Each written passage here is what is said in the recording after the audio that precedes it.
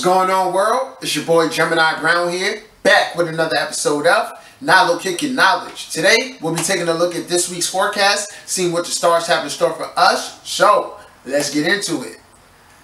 As always, shout out to all the Virgos celebrating birthdays this week. Pay close attention as this energy will be with you all year. So last week, we had our full moon in the sign of Pisces. Uh, I hope that went well for everybody. Uh, feel free to chime in. Let me know how it was. Uh, for me, the the Piscean energy was definitely felt, and at those times, particularly with Neptune and Pisces energy, it's it's almost like trying to gain your footing in a big ocean, like trying to swim with the current, but the current constantly going all over the place, and ultimately what you always learn during those times is to just let the current take you where it will or where it wants. You know, sometimes that resistance makes it a little bit harder. And at the end of the day, that's what we call letting go. So I think a huge theme for last week was really to let go. And that can definitely carry over into uh, this week. So if you are struggling in some capacity, definitely check in with yourself and and, and ask like is there an area in which I need to just surrender, let go and allow myself to be carried or you know have a little bit more faith. Uh, so yeah, take a look into that. But this week, this week we have fresh energy. It's an important week. Uh, for one, we got Mars. Mars finally going retrograde, where it's going to be retrograde for the rest of this year. Uh, I'm going to jump into that in a few, but I want to start off with the new movements. So at the start of this week, we have both Mercury and Venus switching signs. And not only are they both switching signs, but they're aspecting one another the Mercury and Venus are forming a sextile with one another. So we got Mercury in Libra and we got Mercury in, uh, sorry, we got Mercury in Libra and we got Venus in Leo. Both masculine energy, which I think is key, particularly with Mars also in, you know, masculine sign and all of that. So, and then by the time Mars goes retrograde, we're going to have basically like all the outer planets retrograde and then Mars and Saturn as well. Jupiter will be ending its retrograde soon. But anyway, how I feel about this is that for with Mercury in Libra and then Venus being in Leo, relationships are going to come center stage. And right now, with this Virgo influence, the sun being in Virgo, the sun ruling Leo, I feel like this is a, a, a week of adjustments, a week of really dissecting our relationships, uh, looking at them in a more detailed view. Whatever's transpired between us and friends or romantic partners, we're going to see, we're going to be asking ourselves, okay, is this worth it? Is how can I make this better? What issues are we having? So there's going to be a, a real tendency to look at relationships in a realistic point of view, which is really good, particularly coming off of that full moon in Pisces where we have a tendency to see things how we want to see them. So we're really getting a, a, a real reality regarding relationships and how we can enhance them, fix them, how we can grow and improve, okay? With Mercury and Libra, we're more expressive towards other people, particularly if you have other air signs as well. This is a great time to express yourself and to get out there and make make contacts and allow yourself to be influenced by others and be open to learning from others, okay? I like when Mercury is in Libra because of that ability to learn from others and it's kind of like taking what we already know, what we're already good at, and seeing the deeper meaning behind our interactions with other people and just uh, kind of like lifting each other up, each one teach one uh, kind of vibe. So with this said, and the and the sextile, there this is great for creativity, but it's really just great for saying what you need to say, right? So if like be honest right now, you know, don't sugarcoat anything. Seek to be expressive. Uh, if you're if you're wanting to impress somebody, the creative energy will be here for you have like really great ideas to spice up your relationship, be more romantic or you know, just engage with others more. And I think this influence is going to carry on definitely for this whole week, but even on into next week. So just be mindful of your interactions with people and understand we, we stand to learn a lot from one another right now. So you can be called to be a mentor, offer some words of wisdom, and they can come from others when you least suspect it. So it's a real, and then with the them both being masculine energies, yang energies, and this being like the waning phase, we can be feeling more motivated than normal.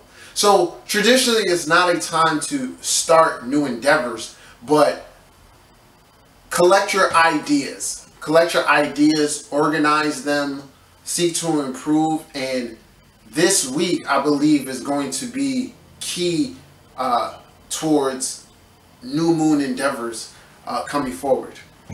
So, then just to talk a little bit more about Venus in Leo, uh, a great time for personal evolution, expression, beautifying yourself.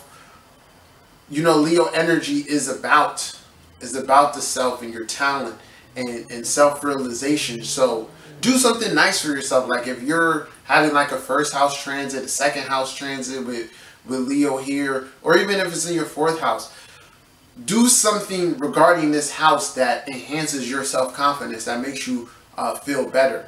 Because what I'm seeing this this week is that energy needs expression but not like in the sense of like starting something and expecting to finish it at the same time, but more so just being in flow and being stimulated.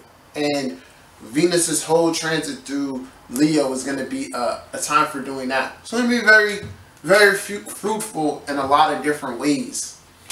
So then we got on the 9th, we got Mars going retrograde. And if you haven't seen my video on Mars retrograde, I talk about it in detail with everything to expect and how to what to look forward, look out for, and how to best kind of like apply this energy.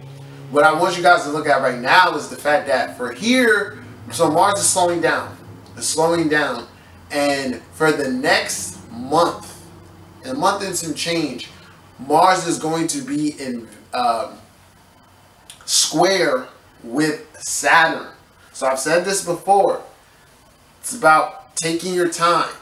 It's about using your energy, but using it in a disciplined manner. Okay?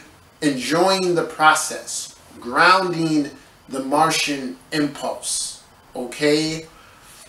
So this is going to this influence is going to be here for the, for the next month. And if you're if you're a cardinal, if you have cardinal energy around these degrees, the late cardinal signs, that's also squaring that natal energy for you, which can also just denote struggle, which can denote impatience, okay? And really what you want to focus on in this retrograde cycle overall is a re- how can you reorient how you express your masculine energy or healing any issues that you have with masculine energy okay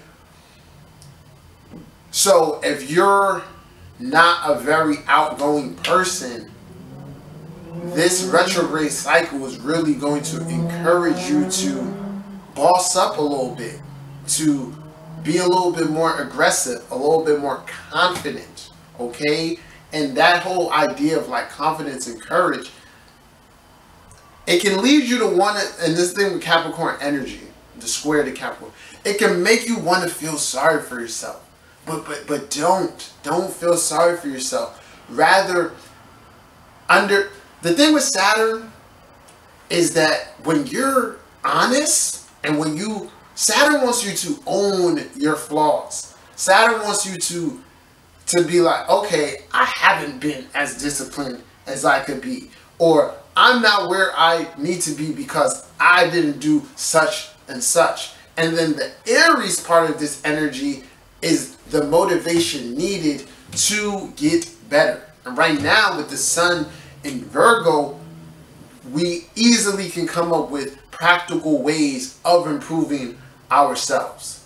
Okay?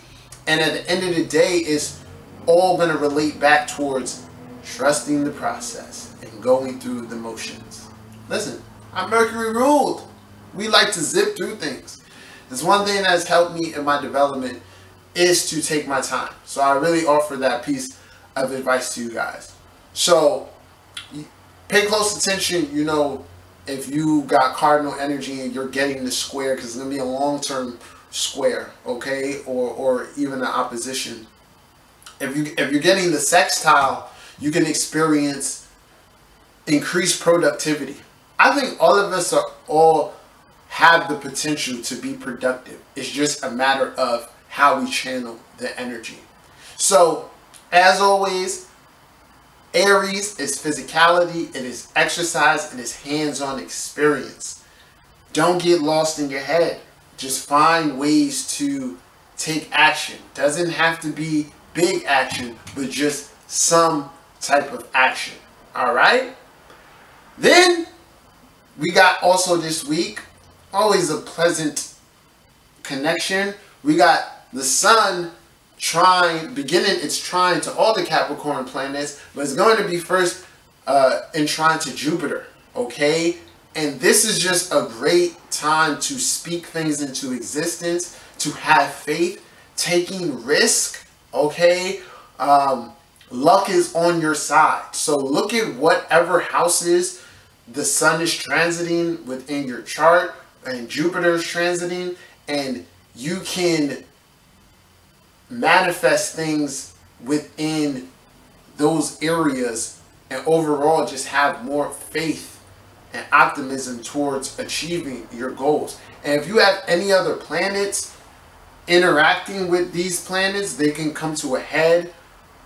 These these are both, you know, Earth planets, so there can be some type of financial come up for some all right? But it's a really good it's a really good time whenever the sun links up with jupiter feeling lucky. So that's just some food for thought but use that energy uh, to your benefit. And like i said as the sun progresses through virgo it's going to then try and pluto and try and saturn. So overall we have the chance for a lot of productivity uh, coming up so keep track of your ideas Okay, remain grounded and just take it one day at a time. But this is my interpretation of this week's forecast. Feel free to chime in. Let me know what's going on in your world. If you haven't subscribed to my channel, you can do so now. If you need a reading, holla at me. Till ne next time, peace.